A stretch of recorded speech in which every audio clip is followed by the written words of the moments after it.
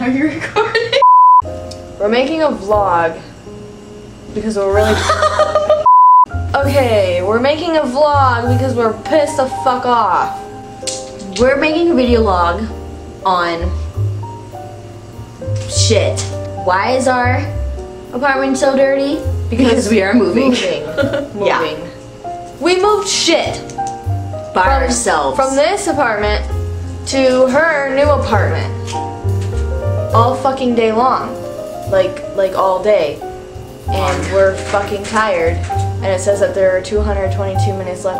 That's so. I gotta take a picture. You Bad. Oh, it was so close. Okay, I got it. Because we gotta be out. and we are currently sleeping on the floor. Probably because we're fucking idiots. And we have community service in the morning. Why are we awake? Well, first of all, it is 2:29 in the morning. We should definitely be fucking sleeping. Because we gotta be up at 7.45 in the fucking morning. Why are we awake?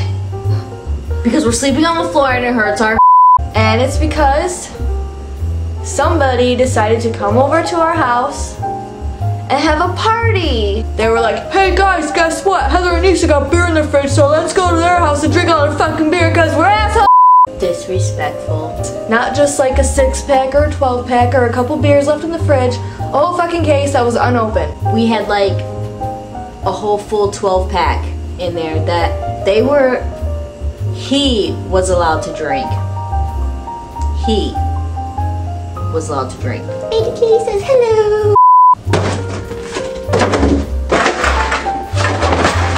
That's empty It's it's got shit all over it, Why is it, and there are empty cans in here. why is it all wet right here now? Uh huh. Uh huh. Uh huh. What the- Looks like they made a mess, dude, because I think these cans had beer in it. Because when I just did that, the floor is all wet and so is the counter. Isn't that lovely? now we gotta clean up their fucking mess! Why?